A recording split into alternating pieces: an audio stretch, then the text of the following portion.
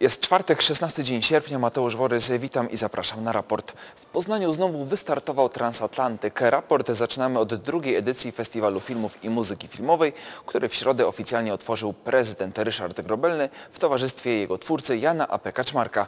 Przed nami tydzień z gwiazdami światowego kina i wybitnymi kompozytorami, w tym m.in. Krzysztofa Pendereckiego, który odbierze jedną z nagród Transatlantyku.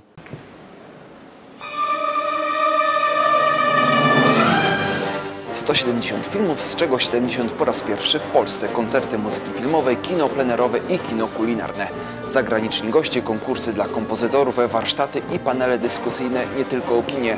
Tak wyglądać ma tegoroczna edycja Międzynarodowego Festiwalu Filmu i Muzyki Transatlantyk. Pomysłodawcą festiwalu jest urodzony w Poznaniu kompozytor Jan A.P. Kaczmarek. Jan A.P. Kaczmarek jest człowiekiem no, światowej klasy, tak? Nie tylko dlatego, że zdobył Oscara, przede wszystkim, że jest niezwykłą osobowością, niezwykłym kompozytorem. Jeżeli on chciał robić festiwal tutaj w Poznaniu, czyli w swoich rodzinnym gnieździe, no to tylko na tym skorzystamy. Bardzo ważne wydarzenie kulturalne, które, z którego poznaniacy mogą e, korzystać. Wiem, że korzystają, bo wielu z nich wybiera się na e, poszczególne filmy, e, ale to jest wydarzenie o randze międzynarodowej, gdzie zaczyna się o nim mówić w świecie, w świecie filmowym, w świecie kultury i to bardzo dobrze, bo przy tej okazji mówi się też o Poznaniu. Pomimo tego, że to dopiero druga edycja Transatlantyku, festiwal ściągnął do Poznania wybitnych twórców oraz wybitne dzieła.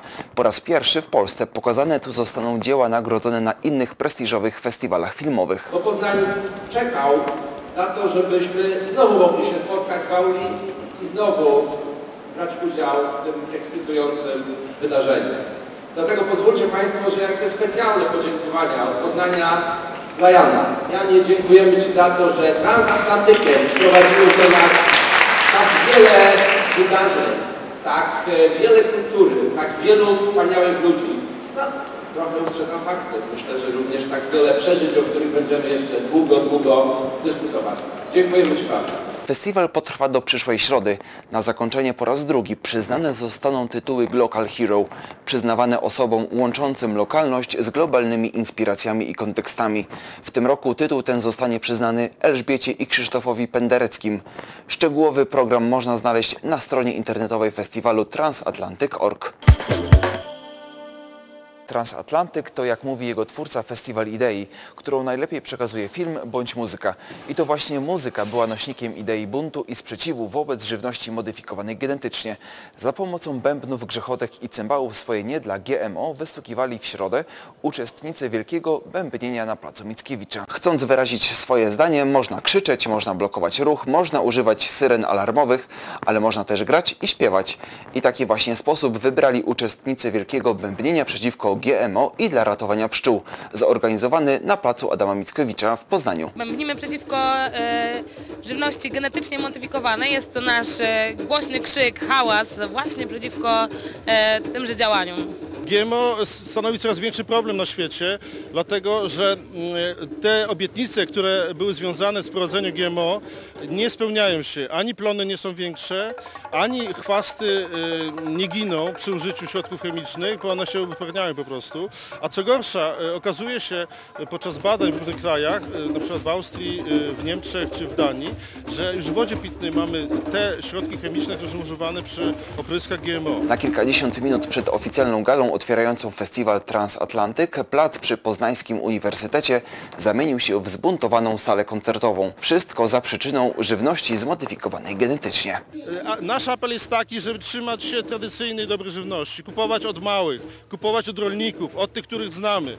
Rolnik e, działa e, w e, harmonii z cyklami e, e, naturalnymi, porami roku, porami dnia, cyklami płodności. Natomiast e, te rolnictwo przemysłowe oparte na GMO, na chemizacji, na mechanizacji, one e, nie zna pół roku. One e, zmusza e, zwierzęta do e, rodzenia, do zapładniania w zupełnie bez jakichkolwiek cykli. Wielkie bębnienie już po raz drugi towarzyszy transatlantykowi, bo jak przyznaje jego twórca Jan A. P. Kaczmarek, takie wydarzenia mogą pomóc w zaistnieniu świadomości społecznej pewnych ważnych idei i pomysłów. Mamy kilka działów na Transatlantyku, które dotyczą społeczeństwa, polityki, a przede wszystkim ekologii. Myślimy, uważamy, że jest to dobry sposób na to, żeby nagłośnić e, te problemy społeczne. Nie ma tego złego, co by na dobre nie wyszło. To porzekadło pasuje jak ulał do wpływów budżetowych, jakie nasze województwo uzyskuje z mandatów. Wystarczyło zaledwie 6 miesięcy, aby dzięki naszej niesubordynacji do kasy wojewody trafiło prawie 40 milionów złotych. 300 tysięcy mandatów na łączną kwotę prawie 40 milionów złotych. To z jednej strony efekt ciężkiej pracy wielkopolskich stróżów prawa, a z drugiej strony naszego lekkiego podejścia do obowiązujących przepisów. Prawo łamiemy coraz częściej. Tak wynika ze statystyk przekazanych przez Wielkopolski Urząd Wojewódzki. Spada natomiast średnia wysokość mandatu, która wynosi w tym momencie 133 zł i jest mniejsza niż w roku ubiegłym. Częstotliwość łamania przepisów wzrasta. Wzrasta też liczba osób, które mają problemy z opłatą nałożonych na nich grzywien. Od stycznia do czerwca 2012 roku Wielkopolski Urząd Wojewódzki skierował przeszło 100 tysięcy wniosków do urzędów skarbowych o wyegzekwowanie należnych opłat na łączną kwotę ponad 18 milionów złotych. Kary za nieprzestrzeganie przepisów wciąż wzrastają. To jednak nie odstrasza kierowców, którzy z roku na rok biją rekordy w zdobywaniu mandatów. Warto pamiętać, że zgodnie z regulacjami prawnymi osoba, która otrzymała mandat karny, przyjęła go i podpisała, zobowiązana jest do jego uregulowania bez wezwania w ciągu 7 dni od daty nałożenia. Wali się most uniwersytecki. Zły stan techniczny tej konstrukcji najprawdopodobniej przyczyni się do jego rozbiórki.